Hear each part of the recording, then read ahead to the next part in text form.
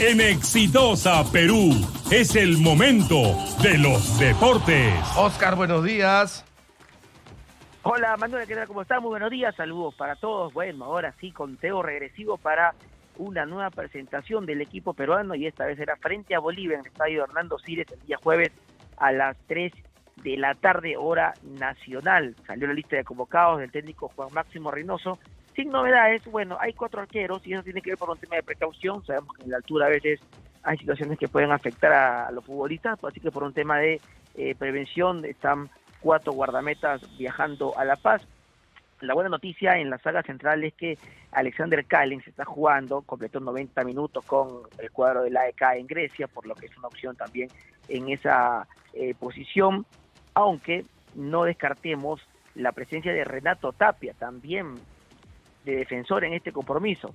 Ha respondido, lo ha hecho bastante bien las veces que le tocó apagar incendios, por lo que en la altura, un buen rechazador, sobre todo por ubicación y por timing, Renato Tapia podría jugar en ese puesto.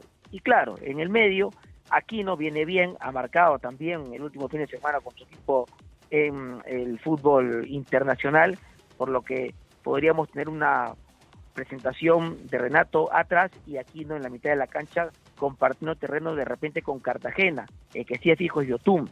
Y después, el jugador de la gente, el que es pedido por todos, inclusive por quien habla también, es el señor Piero Quispe, que se perfila como titular para este duelo y arriba indiscutible José Paolo Guerrero, que está en racha, se destapó en la Liga Ecuatoriana, entonces llegó a Lima también ya con los goles anotados, si es que el tomando forma para este compromiso que va el día jueves a las 3 de la tarde, estimado eh, Manuel, no se olviden que a partir de la doble contamos todo el panorama sudamericano porque tenemos una bonita jornada Uruguay enfrentará a Argentina. Ese clásico también, por supuesto, del Río de la Plata será un duelo bastante atractivo que lo vamos a, por supuesto, a desmenuzar y analizar también en Exitosa Deporte. Todo a partir de las 2 de la tarde, estimado Manuel.